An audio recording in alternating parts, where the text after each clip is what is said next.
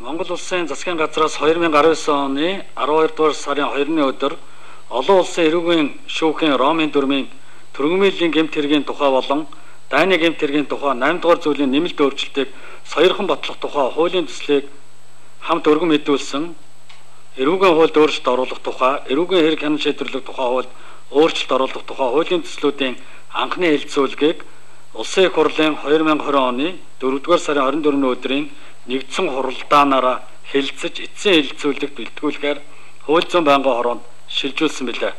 Хууль зүйн байнгын хороо 2020 оны 4 сарын 28-ны өдрийн хуралдаанаараа төслийн эцсийн хэлэлцүүлгийг хийлээ. Нэгдсэн хуралдааны анхны хэлэлцүүлгээр олонхын дэмжлэг авсан саналуудыг төсөлд нэмж тусган эцсийн хувилбарын төслийг бэлтгэж эцсийн хэлэлцүүлэгт бэлтгэсэн талаарх танилцуулгыг та бүхэнд тараасан байгаа.